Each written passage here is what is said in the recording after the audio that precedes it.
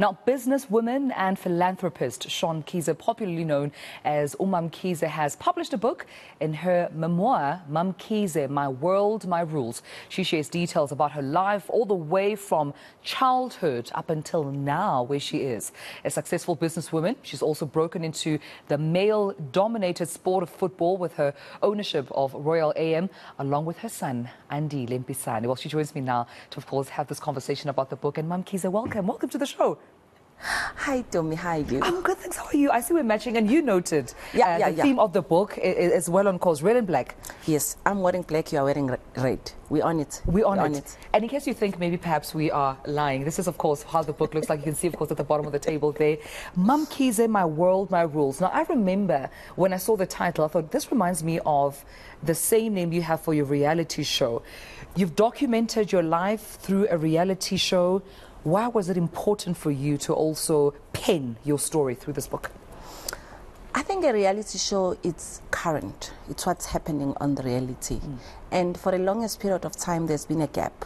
People they, they've never known where I came from, mm. so I had to put it in writing. And most importantly, so I wanted to deal with my past. I wanted to face my fears. Yeah.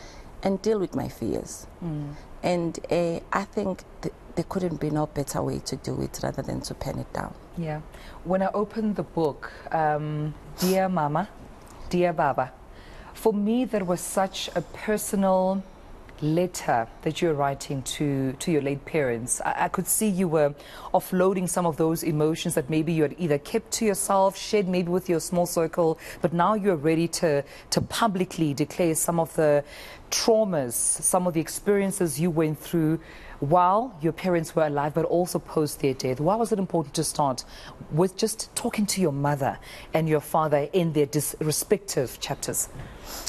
I think talking to my father, I've blocked a lot about my dad in such a way that I've never talked about my father. Hmm. It was like he has never existed. I felt like he was gone too soon. As for my mom, that woman has always been my rock Yeah. and my resilient, but I've never dealt with the grief of her dad. You know, when she passed away, I had to be the strongest one. People that came to the funeral, they will tell you that to me it was like nothing has happened. Hmm. When I went to the mortuary to go and pick her up, I went in there and I've asked to go in there alone hmm. because my sister is so fragile. My younger brother is young. Mm-hmm. I'll always treat him as a younger brother, even though he's old now, married, but he'll forever be my younger brother. So when I went in there, that was the only time I found a moment to cry. And I think I was angry a bit. So I've decided to block everything that has happened to me. Yeah. Why were you angry? I felt like she left with me with so much of responsibilities. You know, as a child, when there's a mother, you know, you deal with everything, you send it to your mother, and mm. It's the only person that I was able to become myself and shed tear and cry Yeah. and, and, and become emotional.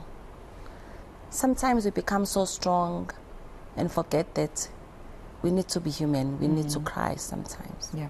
And you also mentioned in the book uh, that Umam Winnie Madikizela Mandela uh, sent you a message saying, please, please hold off the date because I, I want to bury my sister.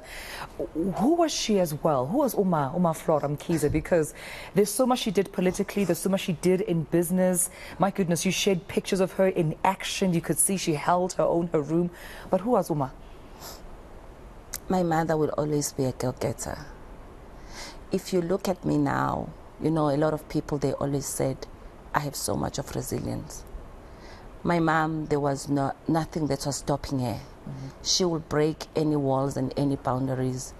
If she believes in something, she will go for it, and nothing will stop her from going for that thing. And I think I'm a little bit of a photocopy of my mom. Yet she still loved her family. Yeah. Your entrance into business, you know, uh, still staying with Umam Mam Flora um, Kize, is because you were her business partner at the tender age of 22. You were Kusilo Group business partner. You worked with Ama. Your introduction into business, how was it for you? Because you talk about how the first two years were difficult for you. But growing into business, starting there to where you are now, how was your journey in business with that foundation? I think my journey in business has never been easy. But um, I've started when I was young. If you read my book, you'll see that I've started at uh, my father's uh, farm business. When I was going back, I was a tomboy, yes, but I used to go back there and count, start to count the trucks, how many trucks have the sugar cane been taken, and I used to record it down. And I used to go to my father and say, Today, this is what has happened on the farm. And I used to disappear, you know, uh, try. And I think from the youngest childhood, I wanted the business world. But it has never been easy, to be honest with you. Yeah. I have been to credit bureau before, trying to find my way to the businesses, and I've fallen so many times. I have fallen so many times, Yeah. but I've never given up. Mamkhize, that's one thing that stands out, you know, for me in the book. You you were not um, reluctant to share those challenges. You mentioned the credit bureau in the book, how it was a setback for you because how are you in business and you are listed or, or in the credit bureau? You mentioned that you are the one that took the steps to go to SARS and say, listen, a lot is happening in my business. I'm making money too quickly. Um, there's a lot of income. Help me make sure that I'm still in the right track because of that background you have of being a chartered accountant.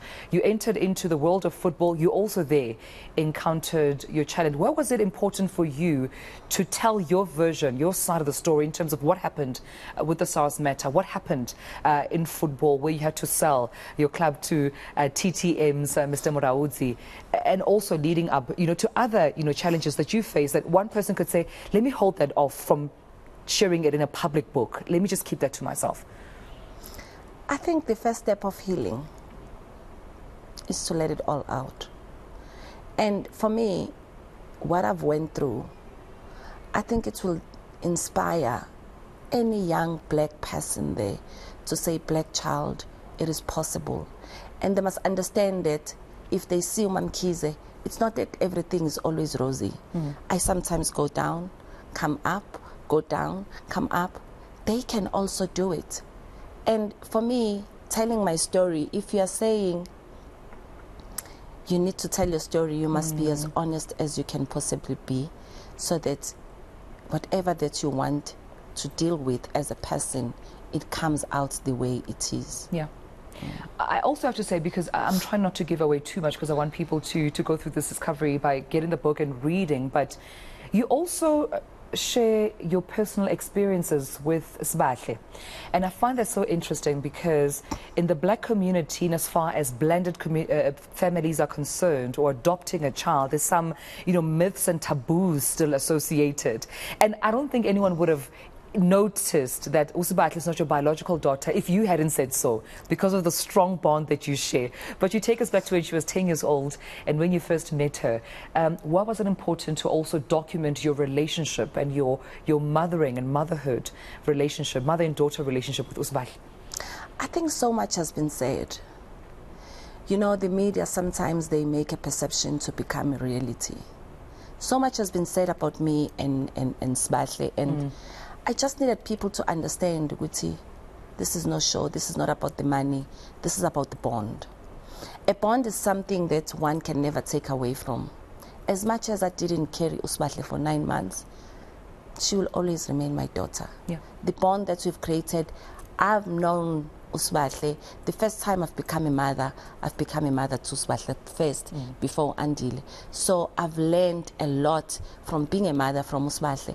Memories that we've shared from there, nobody can take those memories away. Yeah. That's why we are like this today. And, are you as strict with Usbahle as Uma was strict with you and Umam Nozipo? Because you tell us that Uma was like, no one is getting married here until this age, my child. You know, Uma wasn't as easy to let you uh, to marry, even though you did meet your respective husbands, yourself and Umam Nozipo, at you know the age of 19, and you knew that this was someone that I wanted to settle with and start a family with. But Ma was just saying there are rules in this house, and you will abide by those rules. I think that's where I differ with my mom. You know, at some stage as a child, some of the mistakes that we do as children, it's because we can't talk to our parents. So I've managed to do it differently. That's the only thing that I was trying to do different. I wanted to become the best friend of my kids. Yeah. I wanted them when they encourage problem, they come to me first. Because if they come to me first, Mm. I will give them the proper advice. I wanted them, yes, to respect me, Mm. but also to be able to bring anything that is their problem to me Yeah. so that I can guide them the right way. The mother is always right. Eh? Mummy's always right. You know you can always count on Mum. But Mum, kids, I have to say goodbye to you. Before I do, we saw so many different sides of you.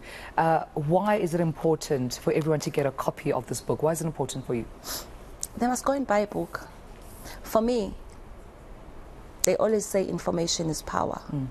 Sometimes, okay, I didn't have anyone to hold my hand, but learning from other people's experiences can also create hope to people. And people, they always want to know how is Mamkhize, how, what makes Mamkhize. Hmm. So they must go to the book. Maybe it will change one or two of people's life, but there are some of the five important points in that book Yeah. that defines me. I'm sure those points will assist one or two people. Well, I appreciate you not only writing the book, but also coming and talking about it. Mamkhize, thank you so much for your time. Shauwn Mkhize for joining us, uh, penning this uh, memoir, My World, My Rules. This is, of course, the book that you can get a hold of. If you think the reality show told you a lot about Mamkhize, wait until you actually see her penning some of her personal experiences and lessons uh, for you to enjoy and learn from.